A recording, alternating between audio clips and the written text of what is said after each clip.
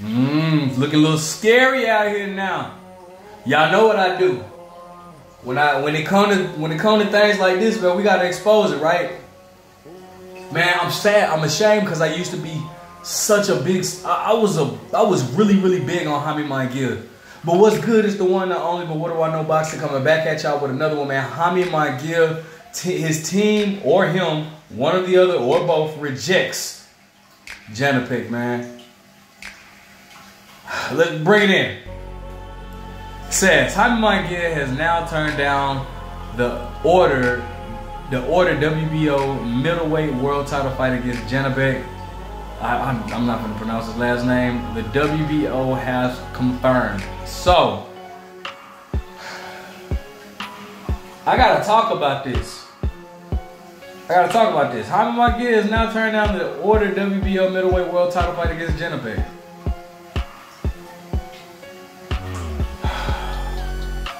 I'm disappointed, man, because bro, again, like I had I had high hopes for this guy. The dude is 41 and 0 with like 30 knockouts or 31 knockouts or 32 knockouts, something like that. But my man's is Golden Boy ain't letting this man come out to play. People knocking on his door, but Golden Boy ain't letting him come out to play.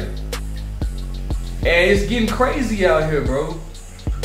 The crazy thing is, bro, I guarantee you,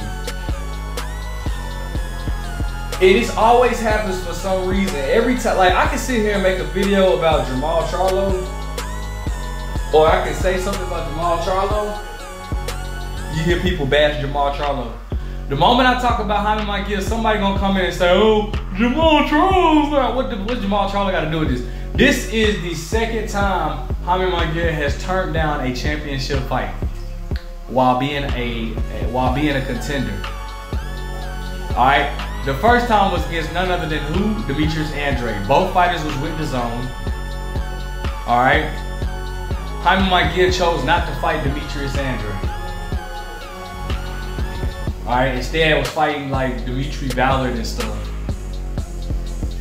Okay, then here comes Janibek, wins the WBO belt. You know, the one mandatory that we we wanted to see Demetrius Andrade fight, you know, that didn't happen. He calls out, he calls out Jaime Munguia. Well, Jaime Munguia was actually ranked in the WBO to fight, so he was he was in order, in line to fight for that title belt, and it says his team rejected it. Now I don't know why they rejected it. I don't know why. I'm willing to hear it. You know, I want to hear what they have to say, but I mean, this is just ridiculous. Is it not? I mean, are we gonna ever like, bro? It's gonna be like 2023. You know, and, and he turned down a fight with Demetrius Andrade. He turned down a fight with Janibek. And you guys, for some reason, want me to believe that Charlo is the reason why he why him and, and, my, and Munguia didn't fight? Hmm. Could somebody go? I mean, it, it trips me out because people act like they don't. People act like they they can't read or just look at the art. Like it clearly states that De La Hoya pulled the plug on that fight.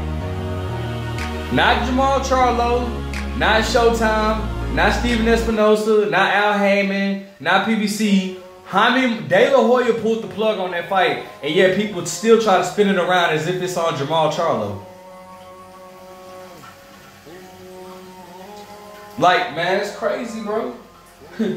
it's getting crazy out here for old Jaime. I don't even think it's Jaime, bro. Like again, I don't think I don't think Jaime. I don't. He doesn't rub me off as a guy that's afraid to fight. I think it's De La Hoya, bro.